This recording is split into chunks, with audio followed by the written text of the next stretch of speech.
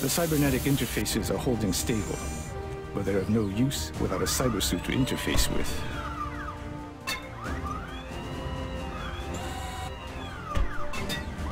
I suggest we manufacture one immediately. When our new MEC trooper equips that suit, I think you'll be pleasantly surprised with its capabilities.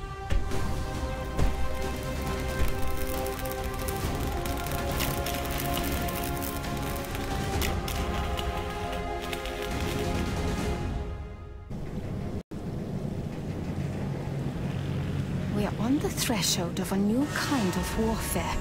Our soldiers were already humanity's best warriors.